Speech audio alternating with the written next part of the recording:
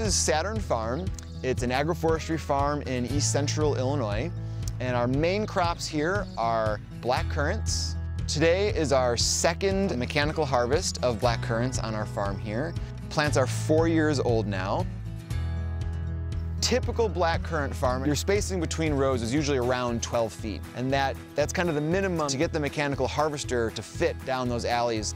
The standard practice is to put in this orchard mix of ground cover but it's not providing anything really for the farm. It's not providing a really great habitat. It's not providing any money and revenue for the farm. So what we decided to experiment with here on our farm is could we do anything else in those alleys that could provide some other benefits to the farm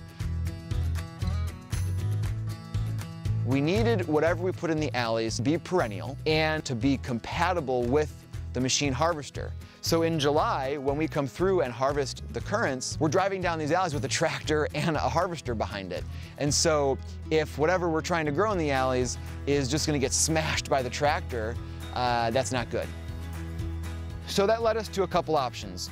First, uh, we have asparagus that we put into the alleys. And asparagus is harvested around here, typically in May. The second crop is rhubarb, less flexible than asparagus, but stays quite a bit lower to the ground. So those were the two kind of edible options that we went for. The, and then the third option was less providing a revenue benefit to the farm, but actually providing a habitat benefit to the farm. So we seeded a native pollinator prairie mix uh, into the alleys.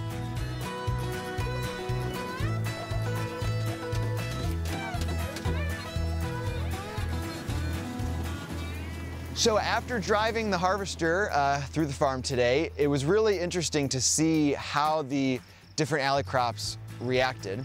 So with the asparagus, uh, we saw on some younger asparagus that were still pretty flexible.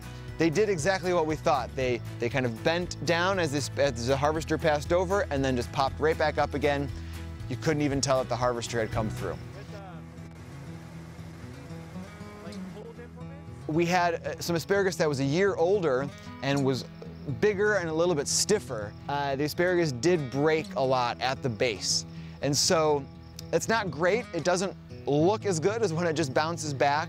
So overall, I would say the asparagus is a pretty good success, but it remains to be seen exactly what the, the long-term impacts are of breaking some of those stems in the patch as the harvester goes through. The rhubarb, I think, was the most promising result of the day.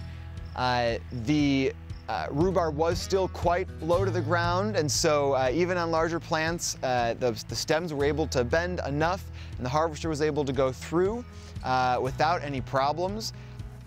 Yeah, it's not snapped like the asparagus.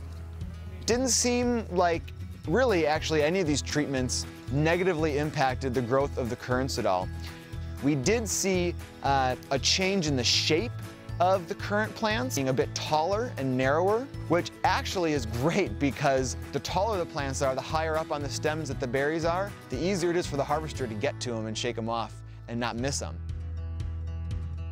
The second impact we were looking for in the currants is increased disease pressure. To date at least, we really have not seen that at all. So when we think about adding complexity and adding additional crops or mixing crops into a system, certainly what we want at the end of the day is higher revenues, higher yields from each acre. However, in order to get that, you don't necessarily need to have higher yields from each crop when you do that mixing. So for example here, if we're adding in rhubarb into alleys between black currants, when we do that, we could end up with lower black currant yields because of competition or something, and we could actually end up with lower rhubarb yields compared to the expected yields in a monoculture setting. But because we're actually growing those on the same acre with some of the same management, some of the same fertilizer, you can actually get what's called over yielding compared to the monocultures. When you add them together, you're actually getting more yield, more revenue.